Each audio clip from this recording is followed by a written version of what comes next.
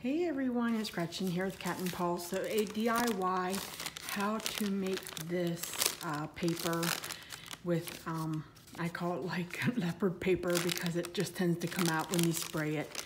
So let's get started. What I have is a roll of Dollar Tree parchment paper, baking paper. I took it out of the box and I don't have it with me, but it comes in this roll and I just cut off what I want I haven't tried any other brands, um, so I don't know how well they would work. So this is from the Dollar Tree. So I cut some rolls here, or some sheets, and you'll see it just wants to roll back up, but that's okay. When you dye it or stain it, it will flatten right out. So I kind of have a step process going, that way you can see everything in, in progress. So this is one already done. And there's various things you can do it, you know, with it. You can um, make it your own how you want. And then this was one I had dipped earlier into my stain. Now I haven't tried this with coffee or tea. This is actually a food color stain I'm using. So this one's drying and you can see there, that's just with dipping it in the, the liquid. It doesn't, um, it, it fights it. It doesn't want to uh, stick adhere, but it will dry, and when that dries, these dots are all permanent, so you can't take it back off, and it won't come off. You can't rub it off, so so let's go ahead and get started. Um, I'll show you what I mean. So let's go ahead and take one and dip it in. I like to use gloves because it will stain your fingernails. And you'll see how, see how it's just fighting does not want to stick to the paper at all. It runs off. So let me dip that again. And it's very adorable. Um, it, I don't think I've ever ripped one while doing this.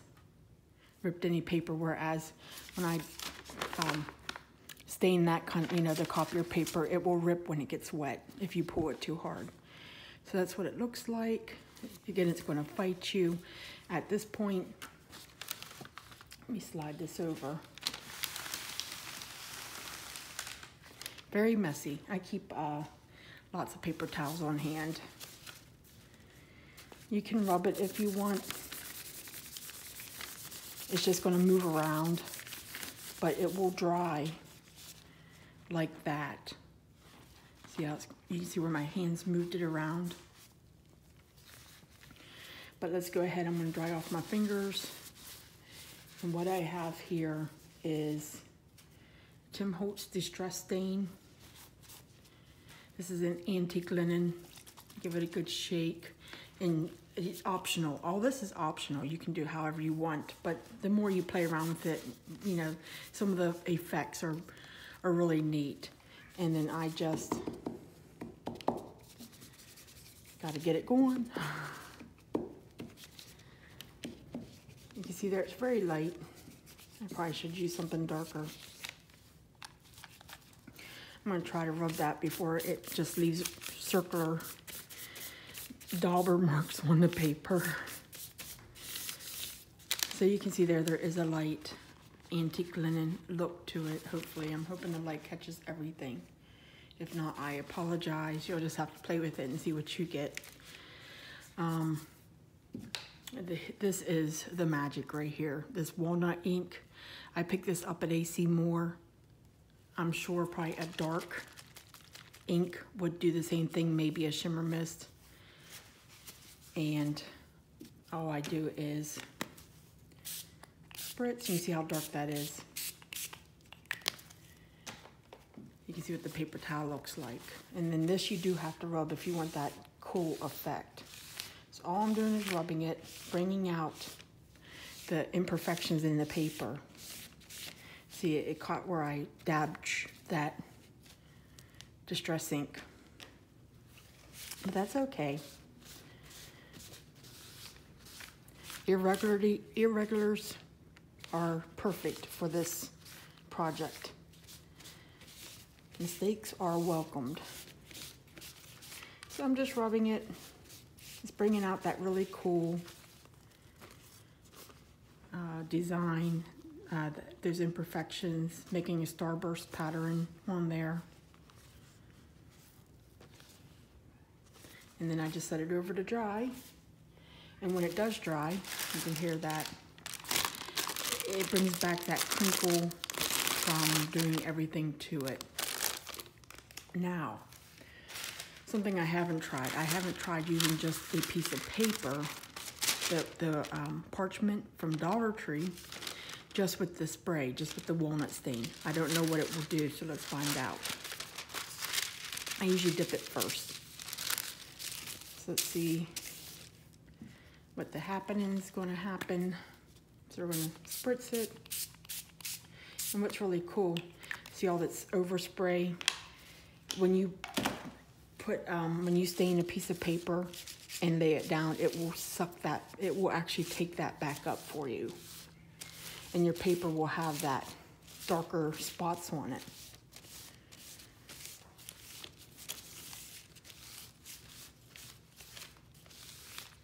So it is picking it up, but it's more smearing it.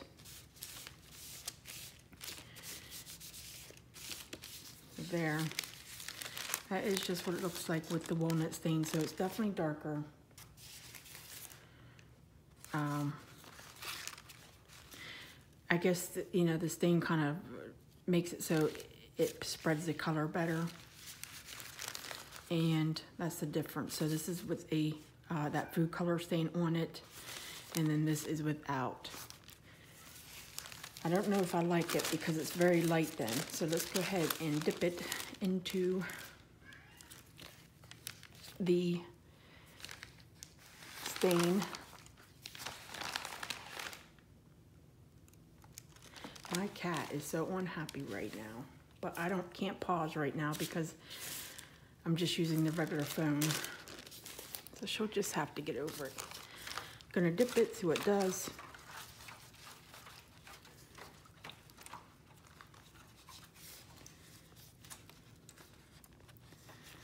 So you can still see it in there, but it seems like, well, let's go ahead and rub it down first.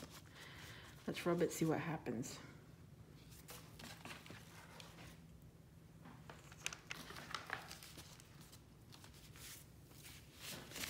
So I'm gonna take my paper towel.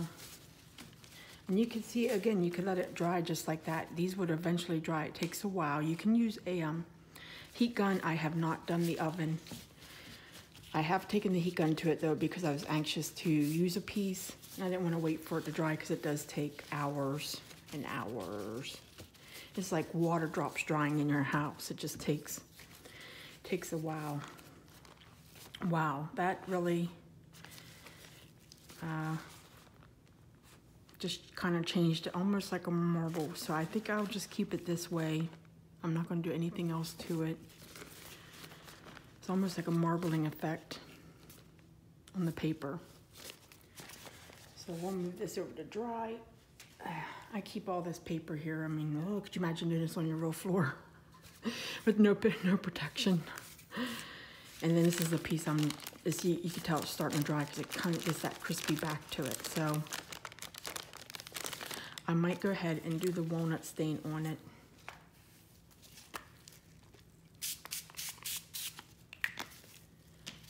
I like to keep like, you know, use that just same paper towel over and over.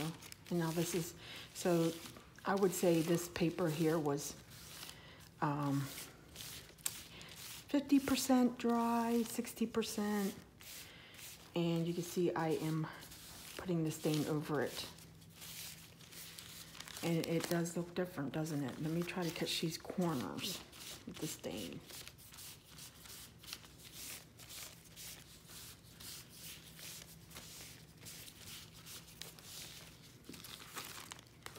So wow, I like that. So again, this paper was, uh, I dipped it, left it dry. It was about 60% dry, and then I put the walnut stain on there. And it, you can see the splotches from the stain. You can see the, uh, like the starburst patterns from the walnut stain coming out in the paper. And it will dry and be nice and crispy. So that's that sheet of paper. This one we stained first, or we spritzed the walnut stain and then we dipped it and it kind of came out a lot lighter with a more of a marble effect. This was the first one I did. I did use the Distress ink on it. Um, you can see some, some swooshing in there with it. That's where I daubed it. And then um, dipped it and then just uh, used the walnut stain. And then this is one I was doing earlier, just so it would dry. Again, this was Distress ink, and then I dipped it and used the walnut uh, stain. So there are four variations. Take my glove off, and um, I just take it off and I reuse this glove because until it gets a hole in it. And I just picked these up at Walmart. You can find them in the cleaning section in a big box. So, of course, my fingers get sweaty, but I just reuse it then. So that's it. Four variations on that staining Dollar Tree paper. Comes in a roll.